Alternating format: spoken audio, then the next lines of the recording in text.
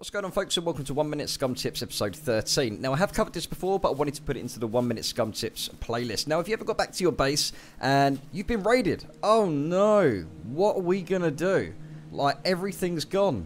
As you can see, you generally this is what you generally find when your base has been raided. Doors open, boxes are empty.